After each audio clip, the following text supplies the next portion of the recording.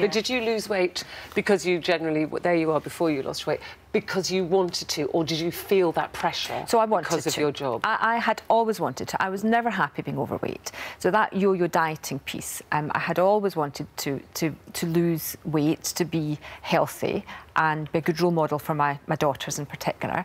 And uh, so I had always wanted to. But it was difficult. And how, how, much, Fiona, did the job itself contribute to you putting on weight? Because we know lots of people who work night shifts, and Absolutely. particularly in, yeah. in, in, nursing, those kind of shifts, odd sure. times yeah. for eating, yeah. under pressure, you know, long hours. Um, you must feel sympathy for a lot of people in the medical profession who are overweight. A absolutely. There is no doubt that it's a real, real challenge. You know, shift working, um, lots of, whether you're, uh, it's female workers, but working parents, so looking after children, looking after older parents now, working shifts, up early in the morning, it's so easy. You're grabbing a uh, biscuit uh, Absolutely, to put everyone else first and yourself last. Um, your sleep patterns disrupted. Um, so what I'm doing in Scotland now is looking at how we can support nurses in particular, but everyone's health so this is your and nursing support the nursing vision. 2030. Absolutely, that came out, and nurses themselves have said, "Look, we love our job; it's an amazing job, pressured. Of course, it's pressurised. No one comes into nursing thinking it's not tough.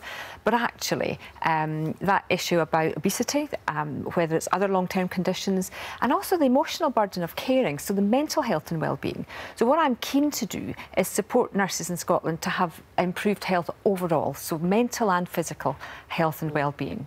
See, I do, I have to say, I can understand you saying it would be hard for me to sit across the table and somebody who was very overweight Hello. say to me, now, Ruth, yeah. you know, you're a, few, you're a bit overweight, we're a bit concerned. And so I think, for, not generally in life, but in, no. in the medical profession, if you're representing the medical profession as saying you, you, you, mustn't be overweight because A, B, C, D, and E is bad for you, it would be hard to but take I think it's that how they say, isn't it? If mm. they sit there double the size of you, mm. saying, listen, I know I need to lose weight, but you also need to lose yeah. weight because you need to address it. Mm.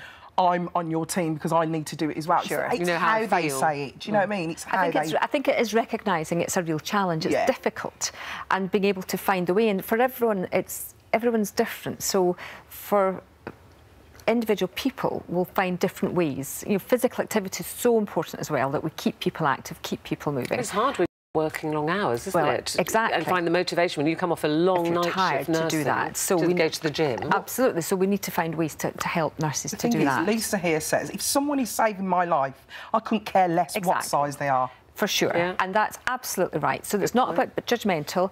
It's not about um, having you saying people are, are, are, bad people. They're clearly not because. So,